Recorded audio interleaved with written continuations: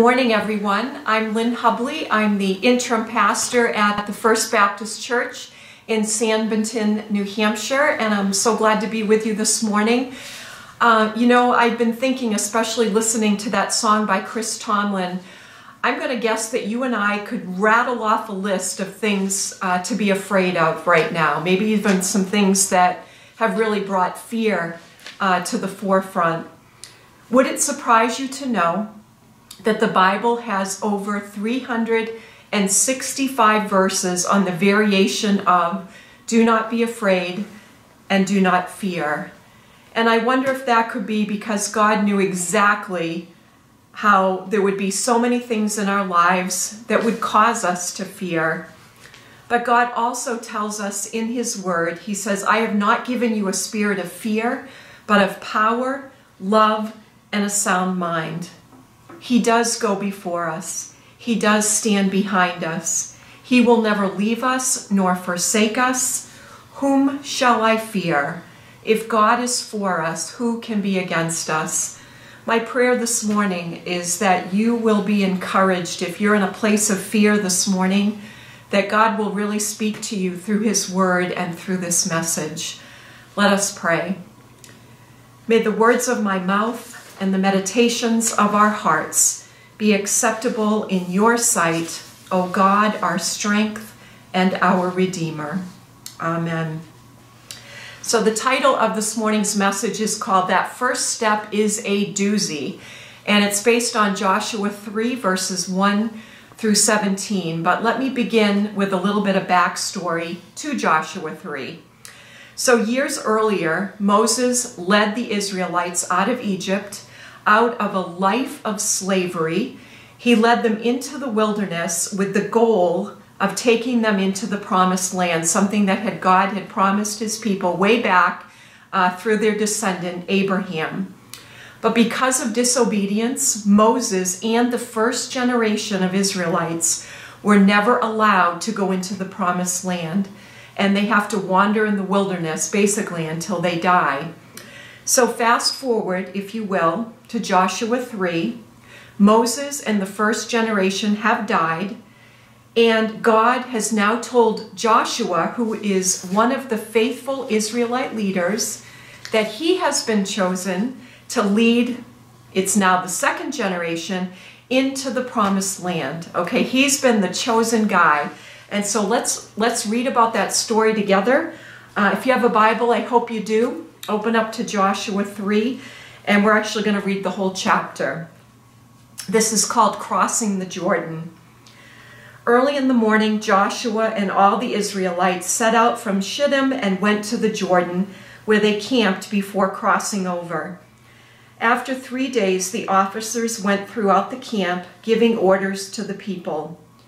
When you see the ark of the covenant of the Lord your God and the Levitical priests carrying it, you are to move out from your positions and follow it.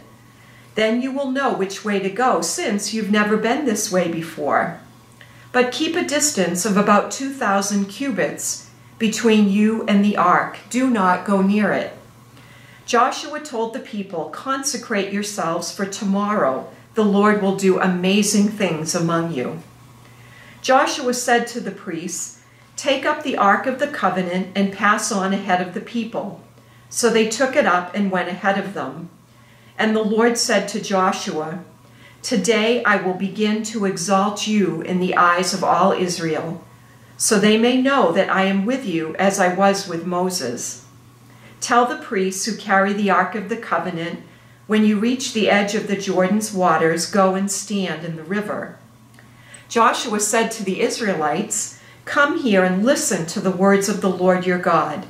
This is how you will know that the living God is among you and that he will certainly drive out before you the Canaanites, the Hittites, the Hivites, the Perizzites, the Girgashites, the Amorites, and Jebusites. See, the ark of the covenant of the Lord of all the earth will go into the Jordan ahead of you. Now then, choose twelve men from the tribes of Israel, one from each tribe. And as soon as the priests who carry the ark of the Lord, the Lord of all the earth, set foot in the Jordan, its waters flowing downstream will be cut off and stand up in a heap. So when the people broke camp to cross the Jordan, the priests carrying the Ark of the Covenant went ahead of them. Now the Jordan is at flood stage all during harvest, yet as soon as the priests who carried the Ark reached the Jordan and their feet touched the water's edge, the water from upstream stopped flowing. It piled up in a heap a great distance away at a town called Adam in the vicinity of Zarethan, while the water flowing down to the Sea of Arabah, that is, the Dead Sea, was completely cut off. So the people crossed over opposite Jericho. The priests who carried the Ark of the Covenant of the Lord stopped in the middle of the Jordan and stood on dry land, while all Israel passed by until the whole nation had completed the crossing on dry land. May God bless the reading of these holy words.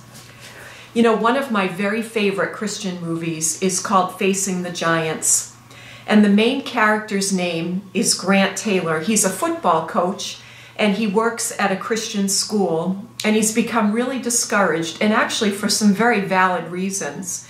He's been at the school for six years as a coach and in six years he has a six year losing streak.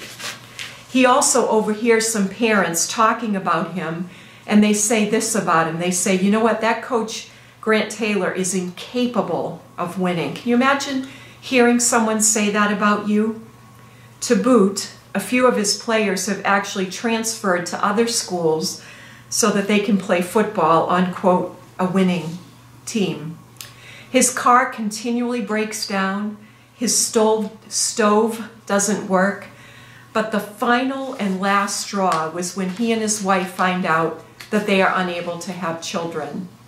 So Grant is actually dealing with situations that seem impossible, but the movie is about God doing the impossible when people choose to live by faith and not by sight. If you haven't seen the movie, I just encourage you to see it. Really, it, it will lift your spirits.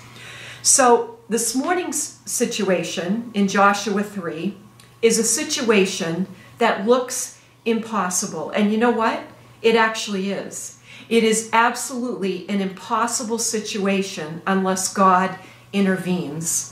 And sooner or later, just like Grant Taylor, just like the Israelites learned, you and I have to make a decision that we are either going to live our lives by sight or we're going to live them by faith. Are we going to live our lives making decisions based on what we see around us? or maybe worse, based on what we're seeing and hearing in the news day after day after day? Or are we going to live by faith and trust that God really is in control, that God really does have a plan, and that He really is working things out for His glory? So, Joshua was chosen to replace Moses as the leader of the Israelites. And you know something? Nobody would blame him if he was discouraged and if he was afraid with this newfound position. And I am sure on some level things must have looked impossible to him in the beginning. Look at the leader that he was chosen to replace, okay? We're talking Moses. Talk about big shoes to fill. Moses was the one that God used to send all those plagues on the Egyptians. Moses was the one that was chosen to lead the Israelites through the Red Sea into the wilderness. He was the one that got to have a one on one, face to face, if you will, with God at the burning bush. Moses was the one that got to climb Mount Sinai and bring down the tablets with the Ten Commandments. You want to talk about an impressive resume? Okay, these are huge shoes to fill. Joshua could have felt like this was an impossible job, except perhaps for one little detail. It's actually not little at all. Moses was not the one who was chosen to bring the people into the promised land because of disobedience. When Moses was in the wilderness, he actually struck a rock to get water for the people when God very specifically had told him to speak to the rock. And then Moses took credit for providing the water instead of giving credit to God. Truth be told, Joshua was not chosen to be another Moses. Joshua was chosen to be Joshua. And you know what? We really do our best when we are ourselves, don't we? Joshua had been found faithful in the eyes of God, and here is one reason why.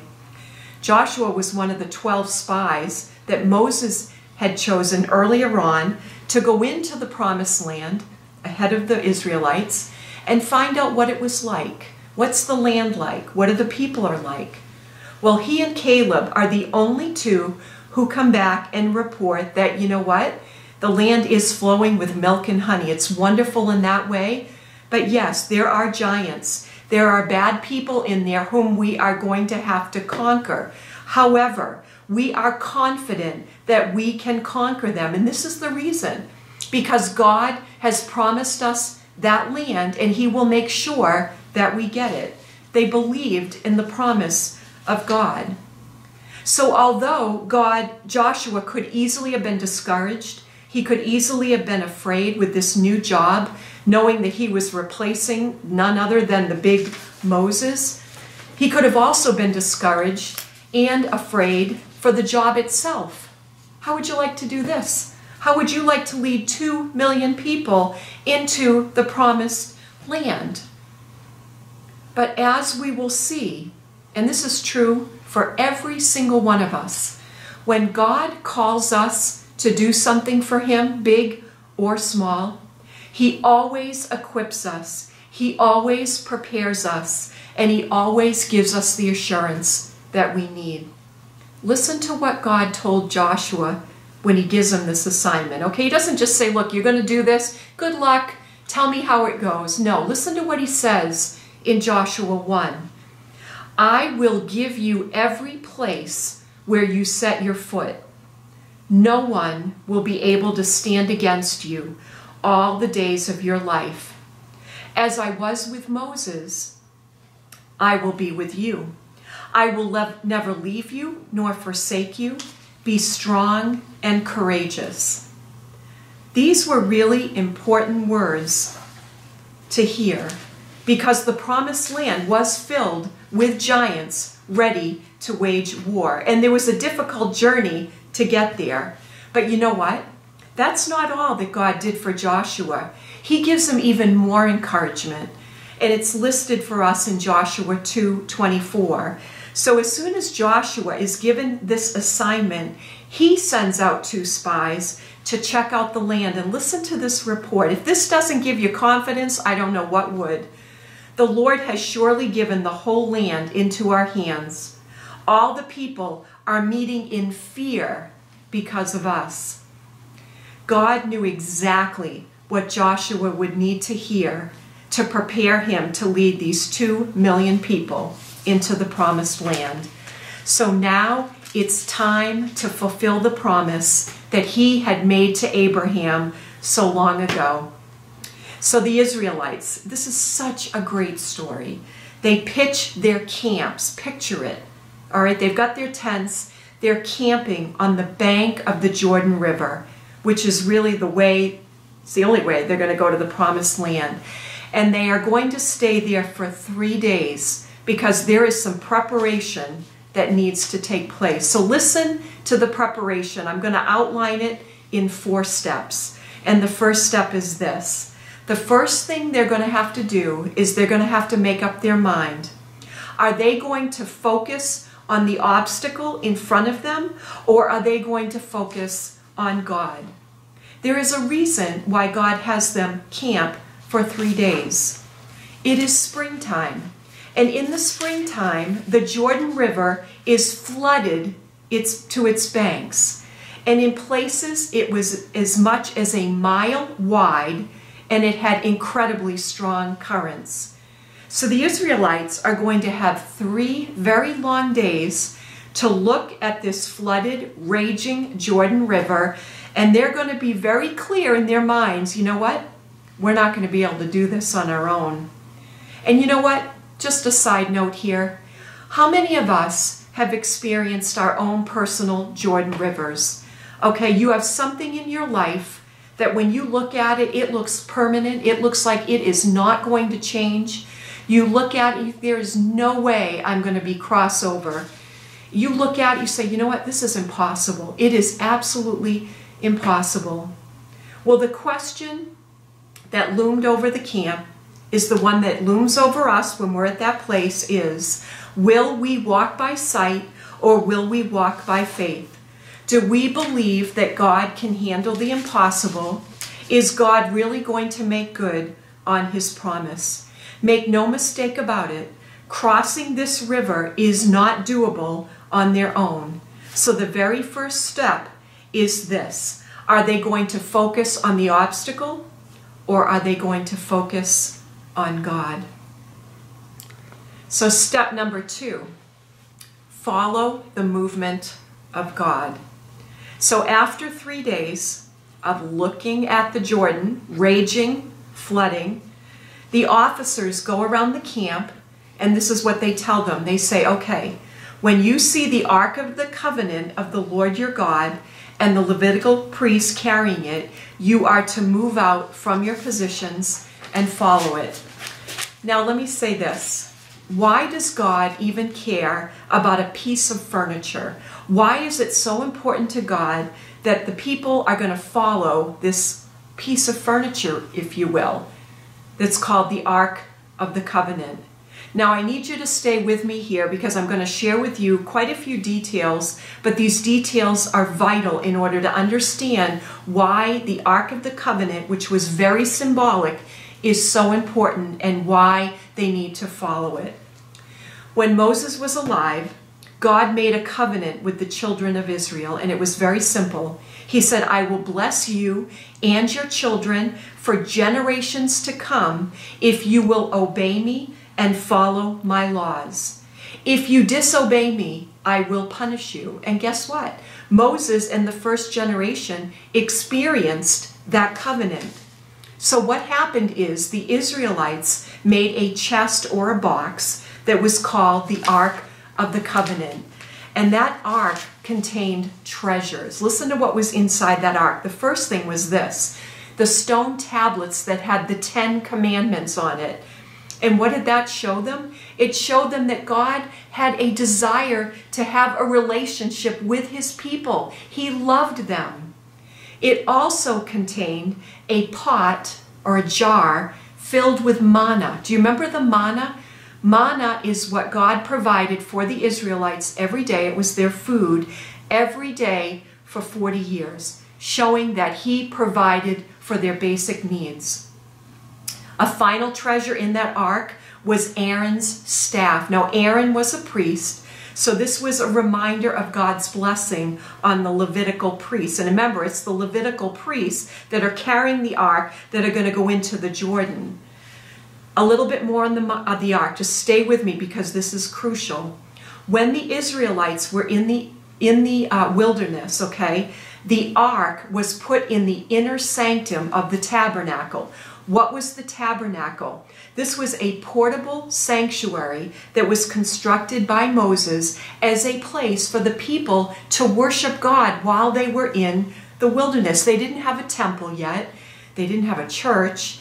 So eventually, the Ark of the Covenant would be put in a temple that would be built by Solomon years later, but for the time being, this is where it was. The lid of the ark the cover on the chest, on the box, was called the mercy seat, which meant atonement for or cleansing of sin. One time a year, the high priest would go into the Holy of Holies, he'd go into the tabernacle where the ark was, and he would offer a sacrifice, an atonement for the sins of the Israelites. And where would he offer that? On the mercy seat. And here's just a really really cool detail. The mercy seat on the ark was actually a foreshadow of the ultimate sacrifice that Christ would make on the cross for our sins. So the ark, as you can see, was really important.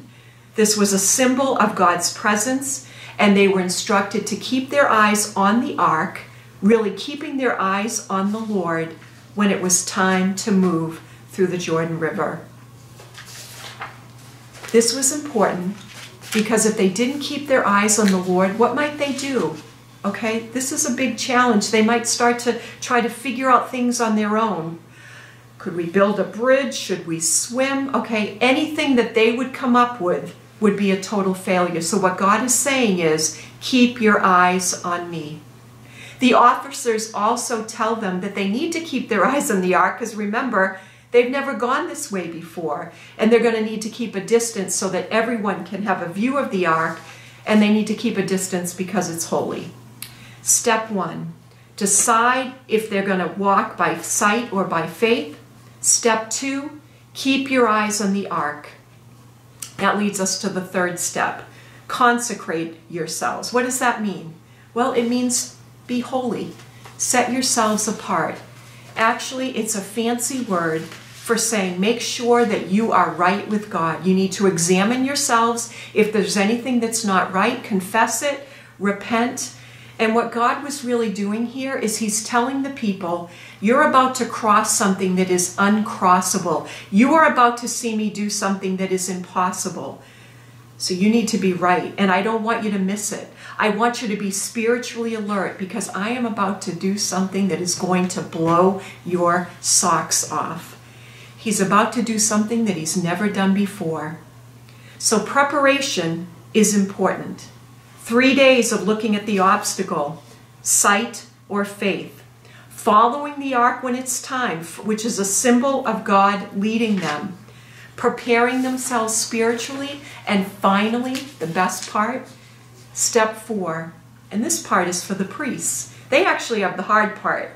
They're going to have to take the first step into a raging, flooding Jordan River. And let me tell you, this first step had to have been a doozy. And isn't it interesting that Joshua didn't send an army corps of engineers who would have tried to figure out, oh my gosh, can you just picture it?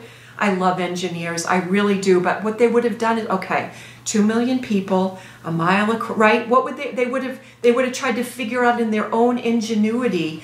But no, Joshua sends priests who carry the Ark of the Covenant because this was a spiritual endeavor. This was not an engineering, a human endeavor. So finally, the Israelites, the priests, and Joshua are ready to see God do an amazing miracle. And the trigger of that miracle was a step of faith, and it was putting their feet into the raging water. Now, listen to this. Everyone could have chosen, okay, I'm choosing faith over sight. Everyone could have said, okay, yep, I'm going to follow the ark. I'm going to keep my eyes on the ark. Everyone could have sanctified themselves, but guess what? If nobody took that first step into the river, nothing would have happened. There is a time to prepare, and then there is a time when you gotta put your step in the river and take an act of faith. If God didn't dry up that water, those raging waters would have killed everyone. And you know what? I often wonder what must have gone through the minds of the priests. I wonder if they thought this. What if nothing happens? What if we put our foot in and nothing happens? What if Joshua misunderstood what God was saying? I wonder if they were standing there just for a brief second thinking, oh my gosh, I wish I'd picked a different career path. Why didn't I listen to my mother when she said I should have been a shepherd? Or maybe they would have just, you know what, I'm just going to wait here and just see if God maybe stops the water and then I'm going to put my foot in. Or, or I'm just going to see if maybe I see a little break in the waves or just kind of, all right, let me get my bearings, see if I can make maybe feel more confident. No, none of that would have happened. They had to step into the raging water in faith. And that leads to the best part. And as soon as they put their feet into the water, the water upstream stopped flowing. All the Israelites, two million of them, passed over on ground, on dry ground. The greatest miracle. And you know what? Their feet should have been covered in mud. But no, it was dry ground. Make no mistake about it. This was an incredible miracle of Almighty God. So, as we know, this is the living Word of God, and always we ask, how does this apply to us? So, here it is. How many times have you felt like you were standing on the bank of a raging river? A situation that, with your naked eyes, looked impossible. Maybe it was something to do with your health, your emotional health, something spiritual, a relationship, something to do with your job, a financial struggle, maybe something with your children or your grandchildren, COVID 19, getting the vaccine, our economy, the state of our nation and our world, and you're looking at everything and you're thinking, this is impossible to cross. Nothing is going to get better. Nothing is going to get changed. Well, let me read this to you from Matthew 19 26. With man, this is impossible, but with God, all things are possible. There is no question, and yes, I'm going to get a little emotional here. There is no question that you and I are standing on a bank of a Jordan River and it is at flood stage. That is not your imagination, that is a fact. But here is the truth. Each one of us is going to have to make up our mind if we are going to live by sight or by faith.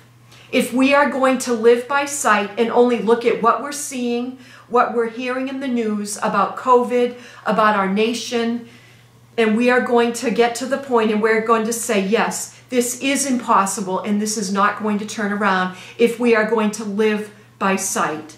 But that is not what believers in Jesus Christ do because there is another way.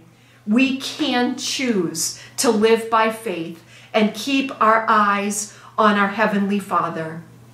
We can take responsibility for each one of us. That's all we can do. We can't control anybody else. We can't control our world. We can't control any of the people in our lives. We can only control our own actions. And we can take responsibility for seeking to live our lives that are pleasing and faithful to God. And we can ask Him. We can choose to take a, a step of faith knowing that that first step is going to be a doozy because faith is not easy. That's what it is. In the movie Facing the Giants, Grant Taylor's decision to take a step of faith and to give it all to God triggered some amazing miracles in his life and in the life of others. The Israelites' choice to be faithful and obedient brought them into the promised land. So, my question that I want to leave with you this morning what is God waiting to do and will only do when you take that first step of faith? Amen. God, as I started our time together, um, I don't think there's one person, there's not one of us right now that couldn't make a long list of things that we're afraid of or that can just bring fear to our lives. There are so many. We are living in very difficult times, and I believe we are living on the bank of a Jordan River that is raging, that it that is flooding. And and God, I mean, when we look around the world, everybody's afraid. I mean, we listen to the news and everyone is afraid. And Lord, as believers, my goodness, we are called to live differently that's the only way people who do not believe in you are going to see you. They need to look at us and see something different. They need to look at us making a decision that we are going to live by faith and not by sight. And God, so that is my heartfelt prayer that all of us, God, will make that decision that regardless of what we see and what we hear going on in our world, we will decide to live by faith if for no other reason, God, that people are watching us, that unbelievers are watching us, God, and I pray that when they see something different in us, that that would make them notice and say, you know what?